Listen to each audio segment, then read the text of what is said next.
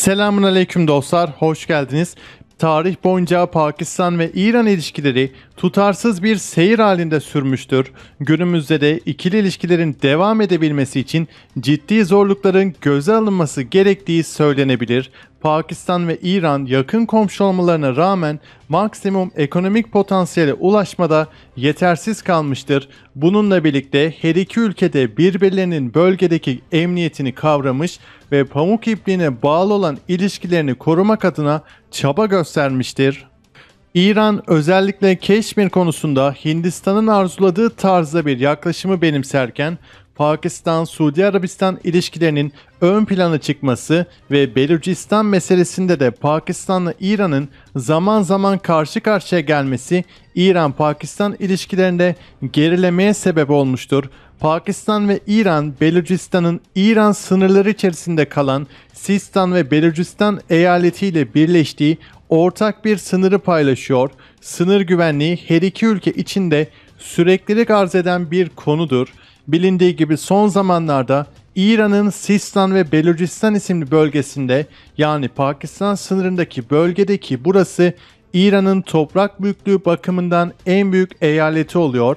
Burada yaşayan Sünni Beluçlar ile İran devrim muhafızları arasında çatışmalar yaşanıyor.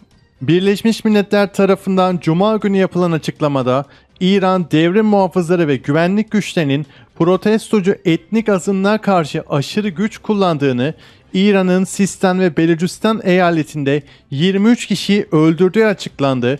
Birleşmiş Milletler İran rejiminin ülkedeki azınlıklara karşı sistematik bir kampanya yürüttüğünü ifade ediyor.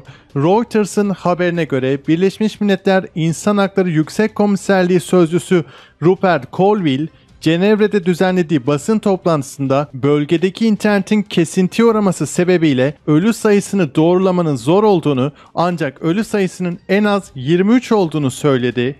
Şunu belirtelim, İran işin özeti burada yine mezhepçilik yaparak kendinden olmayanları öldürmek istiyor.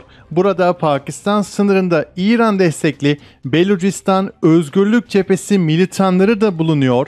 Bunlar 8 Nisan 2020'de biri binbaşı 6 Pakistanlı askeri pusuya düşürmüş ve 4 askeri şehit etmişti. Sadece İran tarafındaki bölgede değil Pakistan tarafındaki Belucistan bölgesinde de İran destekli terör grupları bulunuyor.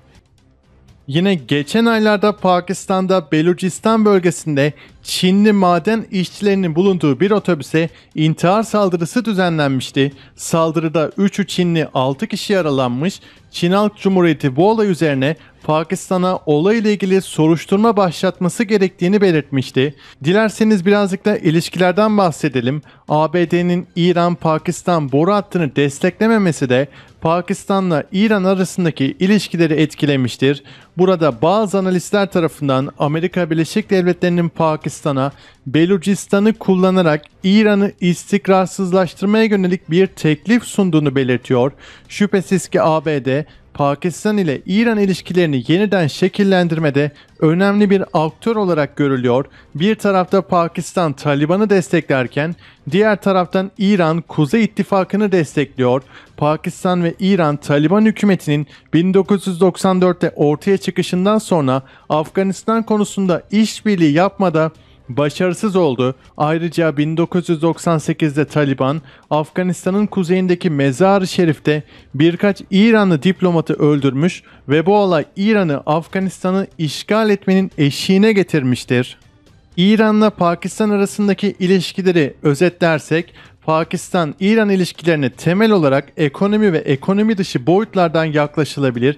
İki ülke arasındaki ekonomik bağları geliştirmek için öncelikli olarak uzun zamandır devam eden gaz boru hattı projesinin tamamlanması gerekiyor.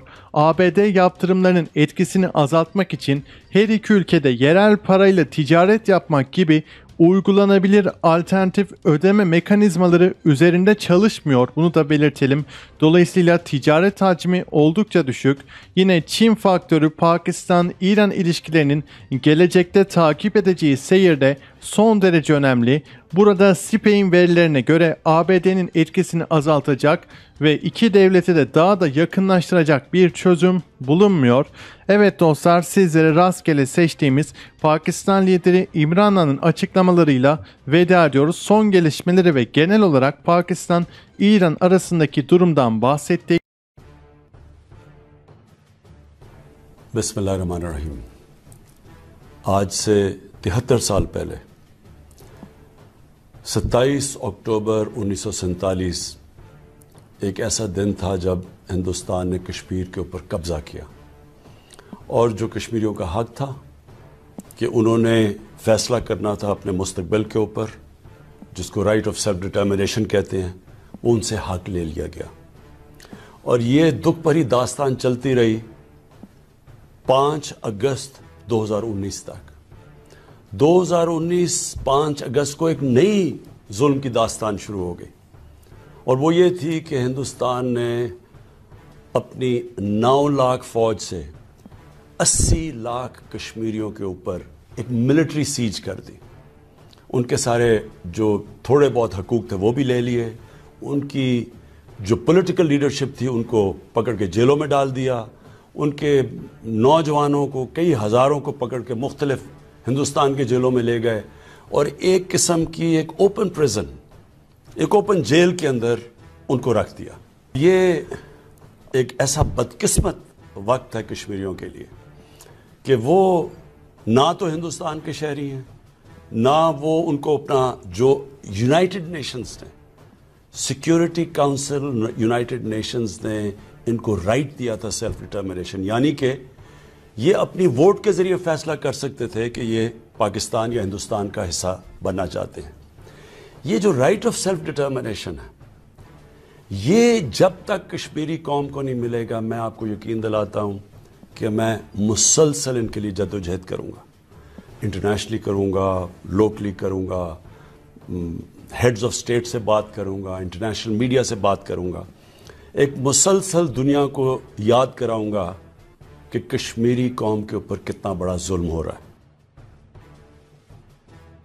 کشمیر میں تو سٹیٹ ٹیررزم واضح ہے میس گریوز وہاں ڈسکور ہوئی ہیں۔ وہاں جس طرح ایکسٹرا جوڈیشل کلنگ ہوتی ہے، جس طرح وہاں میڈیا کا منہ بند کیا جاتا ہے، وہ تو ایک علیحدہ چیز ہے۔ لیکن جو پاکستان میں جس طرح کی سٹیٹ ٹیررزم کی جا رہی ہے، وہ بھی انشاءاللہ ہم دنیا کے سامنے رکھیں گے۔ ہم صرف ایک چیز چاہتے ہیں۔ ہم امن چاہتے ہیں۔ میں آج بھی ہندوستان کو کہتا ہوں کہ پاکستان امن چاہتا ہے، جب میں اقتدار ملا مجھے تو میں نے ایک ہی چیز کی کہ آپ ایک قدم ہماری طرف آئیں، ہم دو قدم آپ کی طرف جاتے ہیں۔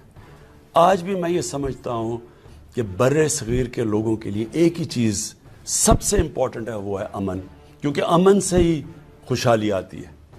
اور میں پھر سے کہتا ہوں کہ ہم تیار ہیں، لیکن اس کے لیے آپ کو ملٹری سیچ ختم کرنی پڑے گی، جو کشمیر کی آپ نے کی ہوئی ہے۔ اور دوسری چیز یونائٹڈ نیشنز کی ریزولوشنز کے تحت کشمیریوں کو رائٹ دینا پڑے گا سیلف ڈٹرمنیشن کا، کہ وہ جو بھی وہ چاہتے ہیں، اپنے مستقبل کا فیصلہ، وہ ایک پلیبسائٹ کے ذریعے ان کو وہ رائٹ جو دنیا کی کمیونٹی نے پرومس کیا تھا، وہ رائٹ ملے گی۔